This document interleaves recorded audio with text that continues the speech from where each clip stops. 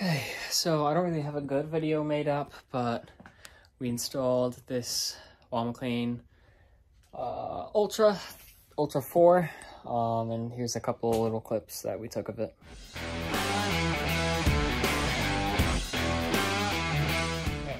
Oh wow. Here we go. You ready? One, two, three, four, five, six, seven, eight, nine, ten. It's pretty sweet.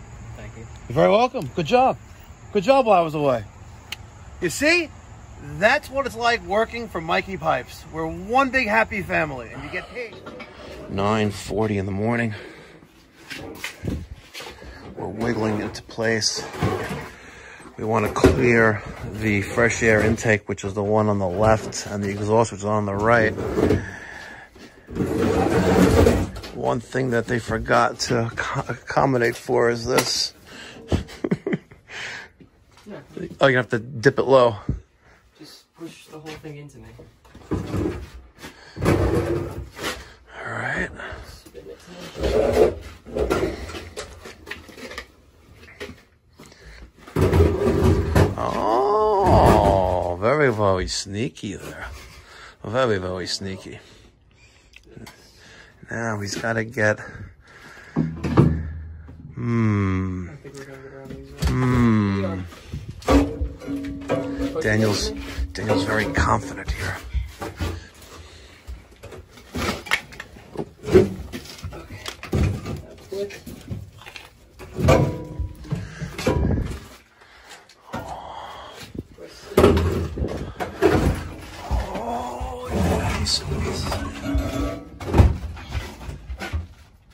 Have to lift. Where you going first? Because your angle, you're gonna be a lot up. there.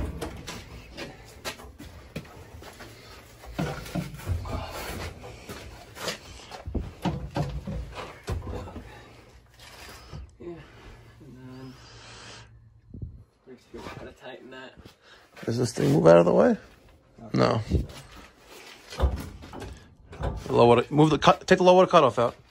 Well, but still, Oh. because if you twist this that way. Yeah. Hmm. Things that make you go, hmm. I can hear the Do you want to give me that? the squirrel cage with the little rodent inside spinning like this. It's- the wheels are turning. The wheels are turning. Here, 'cause this is even wired in. Yeah, I guess you could do that.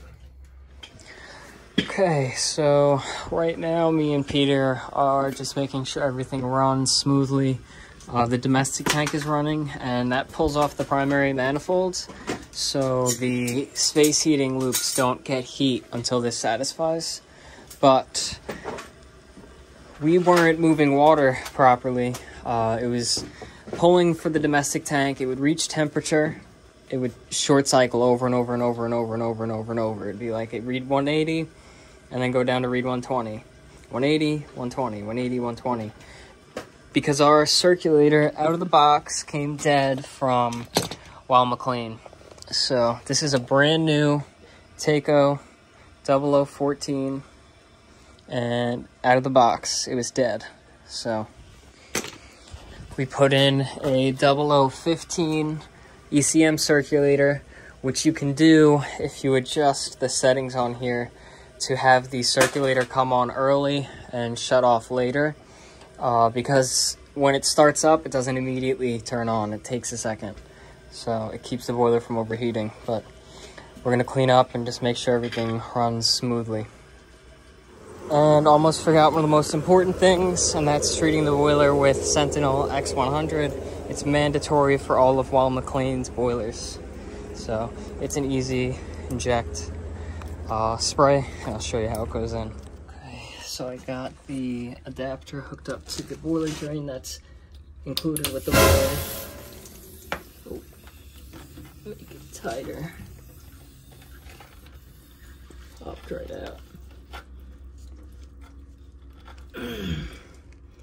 then you open up the boiler water and it feeds it in. And here we are, the finished product. Weil McLain, Pipe Doctor. new low water cutoff. Uh, the pressure relief valve is now in the proper orientation with a drip leg that's two inches off the ground. New circulator, new tridicator gauge, and existing zone set up with this zone relay that is upside down due to the fact that that's how the wiring was. And I think it looks pretty good. The tank is satisfied at temperature. Just need to pop that cover back on on the uh, Aquastat.